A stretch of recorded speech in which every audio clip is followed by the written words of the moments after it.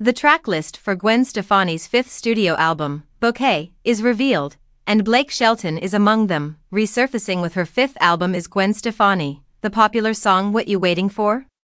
Singer announced the highly anticipated release date and track listing of her new album Bouquet on Wednesday, September 18. On November 15, she declared, My fifth studio album, Bouquet, will be in full bloom bouquet pre-order bouquet available now exclusively on my online store including a limited edition blue vinyl.